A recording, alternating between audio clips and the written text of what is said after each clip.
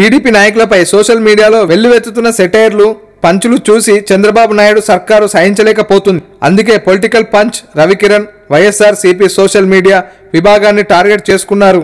దీనిపై తీవ్ర స్థాయిలో విమర్శలు వెల్లువెత్తుతున్నాయి. ఈ తరుణంలో టీడీపీ నాయకులు పలువురు నెటిజన్లను బెదిరింపులకు పాల్పడుతున్నారు. తాజాగా పశ్చిమ గోదావరి జిల్లాలోని భీమవరానికి చెందిన ఒక నెటిజన్ను టీడీపీ ఎమ్మెల్యే బోండా ఉమా సోదరుడు బోండా ప్రకాష్ బెదిరిస్తున్నట్టు ఉన్న ఒక ఆడియో సోషల్ మీడియాలో వైరల్ అయింది.